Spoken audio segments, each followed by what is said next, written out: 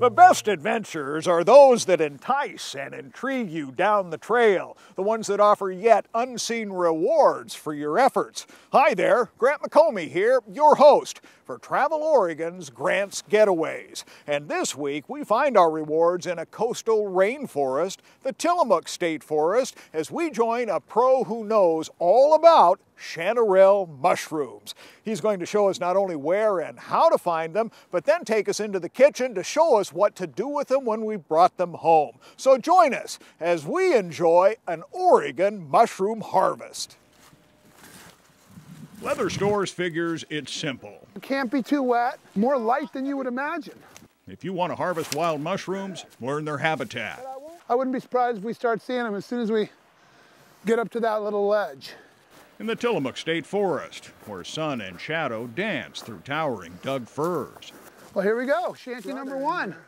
It's always good to get off the schneid early. They're called chanterelles, and since 1999, the gorgeous fungi have been Oregon's official state mushroom. As soon as you see the first one, I imagine there's this kind of chanterelle vision that allows you to see that unique sort of peachy orange. Although right now, you know, with the weather change and with the leaves getting yellow, it gets trickier.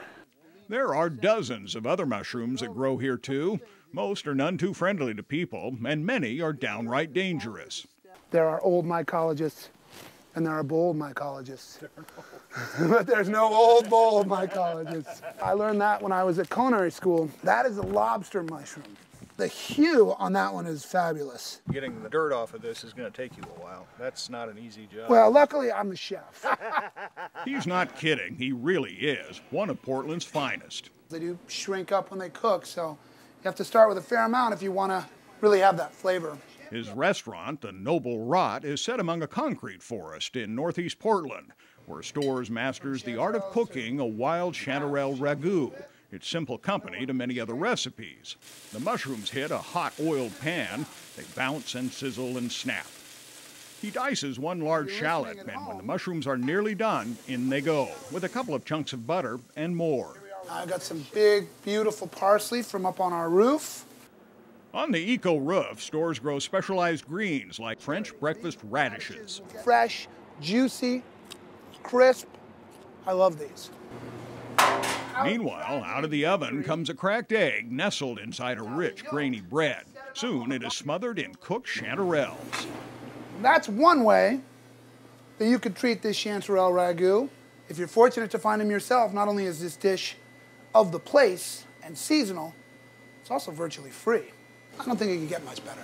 Back in the woods, it doesn't get much better when my chanterelle vision kicks in.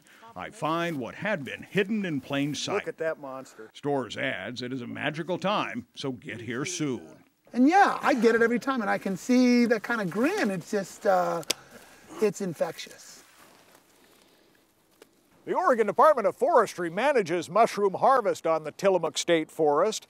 Each person is allowed up to one gallon for personal use. Any more than that, and you're required to buy a commercial permit. That costs $100, and you can find all the information for the Oregon Department of Forestry right here on the Travel Oregon website. A couple of safety points to keep in mind.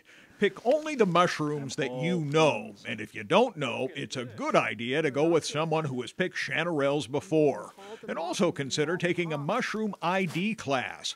Storrs also advises that you stay close to roadways when you're in unfamiliar territory. A good tip, never get out of earshot of the traffic.